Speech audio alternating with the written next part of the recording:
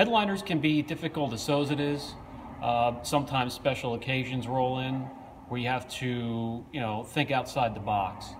Uh, as much as I love using mainstream chemicals, um, sometimes there's um, situations that arise where you just gotta go with your instinct and use what you think will work. I don't know if coffee exploded up into it or what, but um, that challenge was complicated by the fact that the headliner was starting to fail. The adhesive was starting to fail, and the headliner was coming down as so as it is. So the owner um, gave the go to do what we could, try and save it, and um, this is what we did.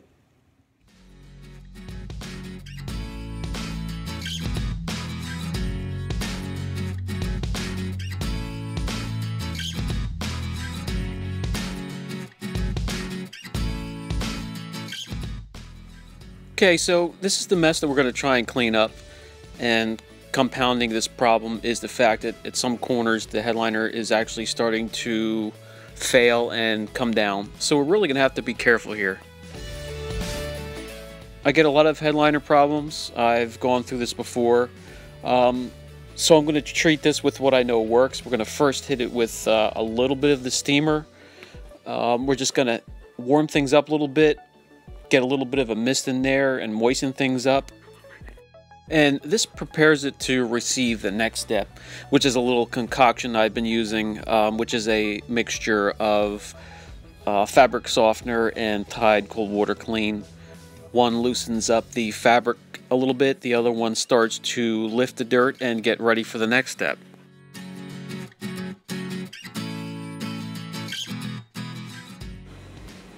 I'm doing all this keeping in mind that at some corners the headliner is starting to fail already and I really have to be careful.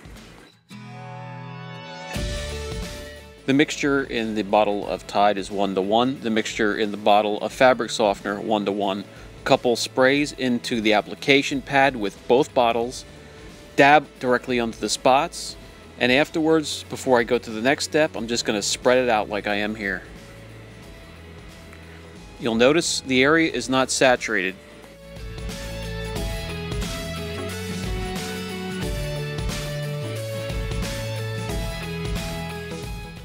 Now, for the next step, when you get the steam cleaner out, if you don't have a steamer that has adjustments for temperature, pressure, or anything else, um, grab the triangle brush and put a microfiber towel, wrap it around it, secure it, and you can use it that way.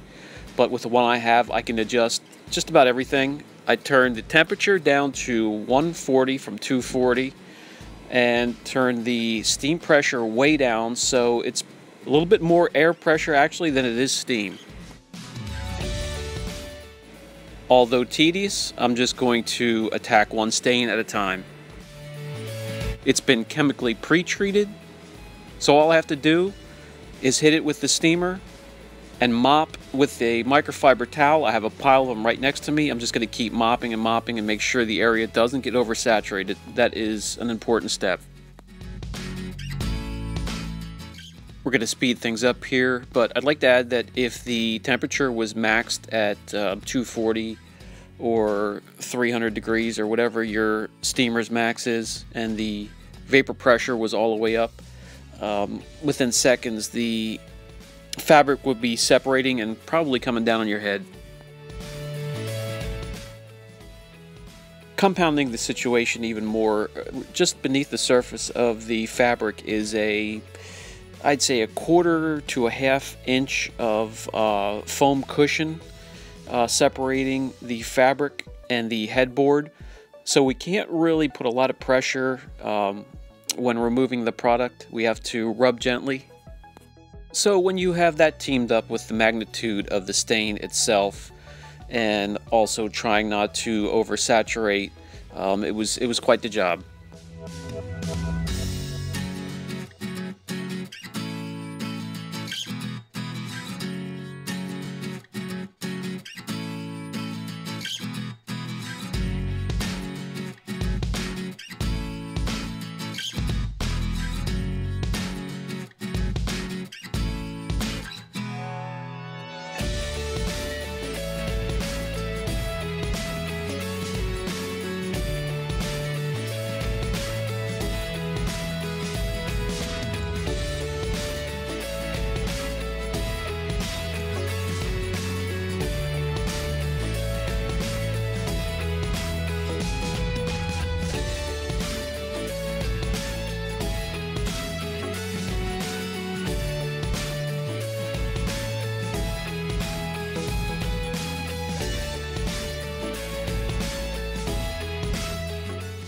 After dried, the stain is completely removed and the headliner is where it's supposed to be, attached to the headboard.